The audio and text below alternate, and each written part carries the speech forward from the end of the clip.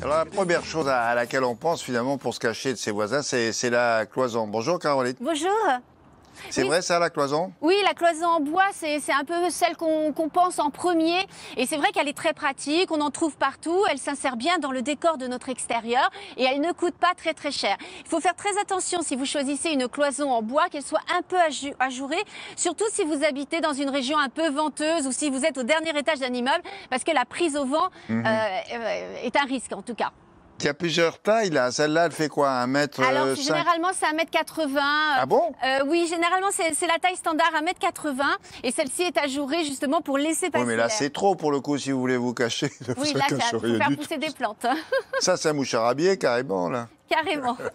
Bon, et il y a d'autres cloisons qu'on peut trouver avec un, alors je dirais un effet un peu plus végétal peut-être. Oui, oui, tout à fait. Alors, vous avez par exemple le canis ou euh, le- la bruyère. Alors, la bruyère, c'est ça. Ce sont des branchages qu'on va, qu'on va assembler comme ça, que vous trouverez dans, dans le commerce. Euh, ça aussi, ça vous quoi- cache bien, c'est bien occultant. Non, ça, c'est très Pour bien. le coup, c'est naturel. Alors, il faut faire très attention parce que dans le commerce, vous allez en trouver Ouais, des bah, qui tu- sont pas épaisses comme celle-ci. Regardez l'épaisseur de cette, euh, Mhm. de cette cloison. Et ça, c'est important parce que pour baisser le prix, ils vont vous vendre des choses qui seront pas Oui. très épais et du coup La moitié. très ajourés. Donc vraiment vérifiez, ça coûte une vingtaine d'euros et ça peut monter jusqu'à 50 euros suivant la qualité, bien sûr, de cette cloison. Vous avez les cloisons également en canis, comme celle qu'on a euh, ici contre contre la, la paroi. Euh, donc là, pareil, c'est naturel, c'est généralement c'est du bambou euh, qui est assemblé et ça plaît énormément parce que ça se fond bien dans, dans le décor. Alors l'autre problème c'est la durée. Euh, avec de la bande de bruyère, ça dure pas mal d'années, mais Mm. si vous êtes à l'extérieur, évidemment, Oui, le voilà, vent, ça- ça la pluie, général- la neige, etc.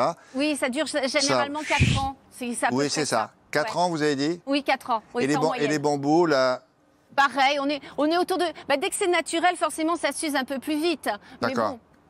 Ok. ça va. Bon, est-ce qu'on peut faire nous-mêmes la- notre cloison, là Oui. Je sais pas avec quoi, d'ailleurs. Eh ben, si, vous pouvez faire ce qu'on appelle des plessis. Alors, les plessis, c'était les cloisons qui étaient en- en- utilisées au Moyen-Âge. Regardez, on en a un tout fait ici.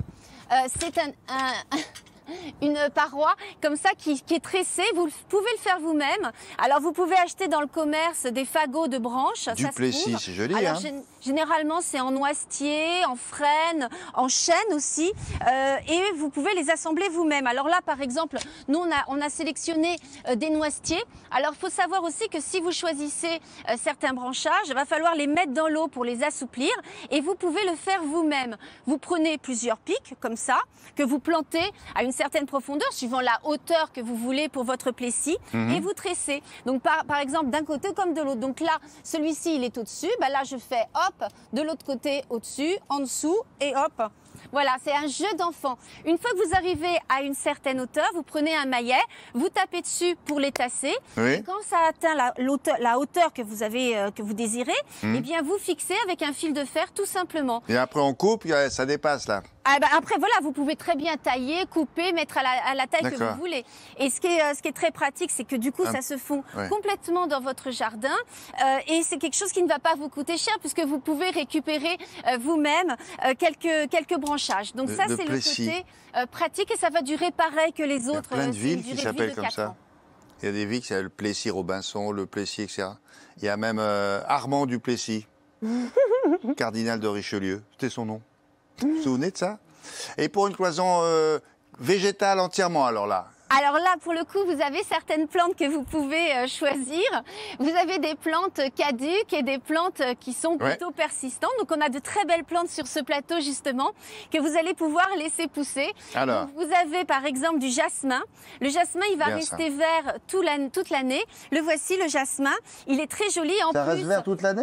ça reste vert toute l'année, le jasmin. Et en plus, ça va vous faire de jolies fleurs très Et odorantes bon. et plutôt agréables. Vous avez également le lierre. Ça, le lierre, ça pousse très très vite. On a celui-ci qui est magnifique également. Donc ça, vous pouvez très bien le laisser pousser. Vous allez voir qu'à la fin de l'été, il aura envahi euh, tout votre mur. Vous avez bien sûr les clématites. Alors celle-ci est magnifique. On appelle ça une sugar sweet. Elle est avec ses fleurs. Et pareil, la clématite, elle va grimper très vite. Elle, elle fonctionne un peu comme la vigne. C'est-à-dire qu'elle va lancer des espèces de petits bras comme ça, des petits élastiques. Ouais. Et elle va s'accrocher partout et euh, très rapidement. Et en plus, elle vous fait des fleurs. Donc donc autant en profiter. Et sinon, ben, vous avez bien sûr des fleurs qui vont rester moins longtemps euh, et qui du coup l'hiver seront sans feuilles, mais après tout, l'hiver, on Non, n'a mais pas sinon, besoin les- de se euh, cacher vous avez les lauriers. Le laurier, ça marche aussi, ça fait de- des, des haies, c'est pour se protéger, c'est pas mal. Euh, si on est pressé et qu'on veut tout de même mettre des, des- des plantes Alors, euh, pour se cacher, c'est possible ça? Oui, ça existe. vous pouvez par exemple mettre des tuyas. Euh, les tuyas, ça marche très très bien. Ce sont ces, ces arbustes que vous pouvez tailler bien Oui, sûr ça, ça, oui, ça, on régulièrement. connaît. Euh, donc vous avez euh, les tuyas et vous avez également les bambous. Alors là, les bambous, nous, on en a quelques-uns qui sont Oui, derrière. ils ont bien poussé. Hein. Et euh, les bambous, oui, ça pousse très vite, c'est très rapide.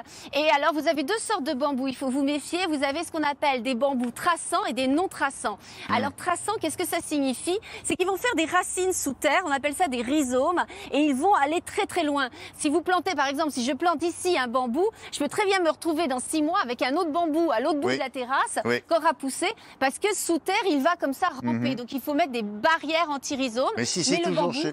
si c'est toujours chez vous, c'est pas gênant. Ce qui Non, est gênant, voilà, c'est que. Le ça problème- pousse chez le voisin et lui, il n'en voulait pas. C'est un peu plus embêtant, effectivement. Merci pour cette promenade-là. Euh,